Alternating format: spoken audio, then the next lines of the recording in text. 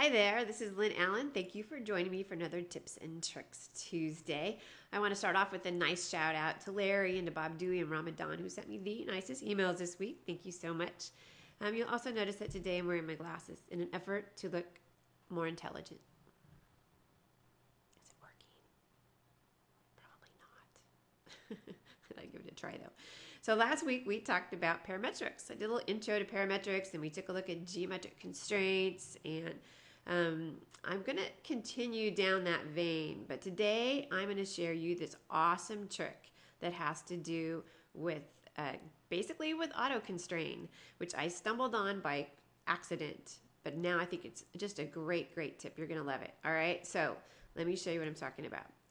If you have ever worked with somebody else's drawings, because I know it would never be your drawing, somebody else's drawings where you like zoom in on lines and found out that they don't quite meet, this is what I'm talking about. Let me show you. I'm going to go to my in canvas viewport controls. And I'm gonna, I already have a view saved, so you didn't have to watch me zoom and zoom and zoom like that. You zoom in and you find lots of that.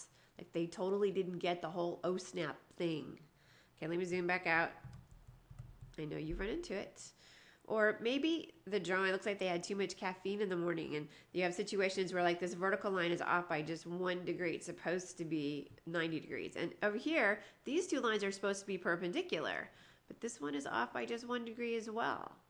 So you have to fix it, and you're the one in charge of cleaning it up. And who wants to do that? I don't want to do that.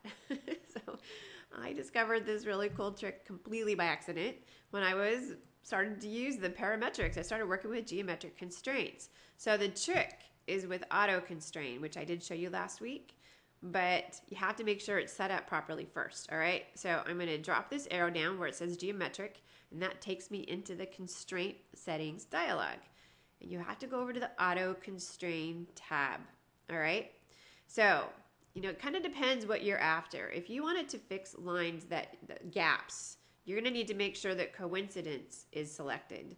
If you want to make sure that all the lines that are supposed to be zero degrees, you know, or 90 degrees, etc., if you want to make sure anything that's horizontal or vertical is is anything that's close is horizontal or vertical, you need to make sure those are on too. Here's horizontal, here's vertical. If you want it to fix perpendicular, for example, you could even have it fix things like concentric, concentric, where you had circles within another circle that was just off by a little bit. You can even have it fix things like that. You really need to experiment to see all the possibilities. But we're going to deal with fixing a perpendicular, those two perpendicular lines. We're going to make them perpendicular. We're going to fix all the gaps in the drawing. And we had that vertical line kind of that we want to truly be vertical.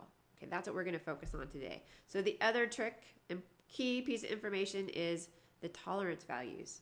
Okay, so you'll see that I have the angle for the tolerance value set at one. So any line or polyline that's off by just like one degree, it will fix it. It'll assume it's supposed to be horizontal or vertical if it's just off by one degree.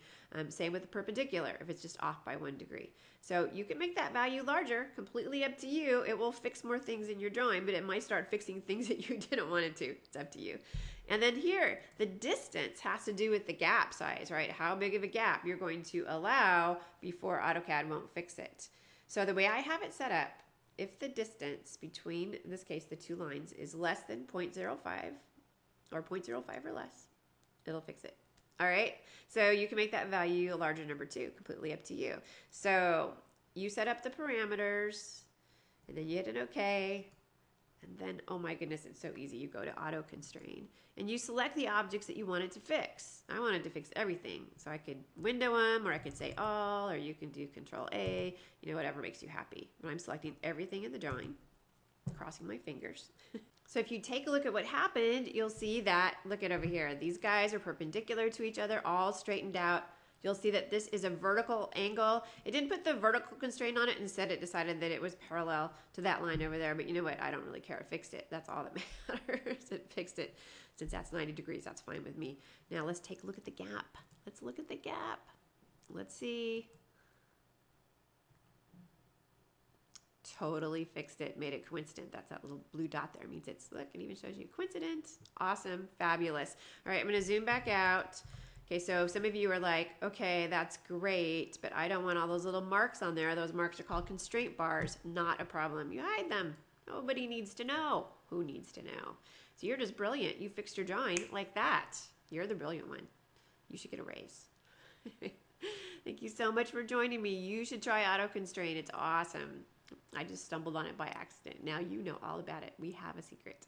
I'm going to see you back here in two more weeks. Thank you for your time.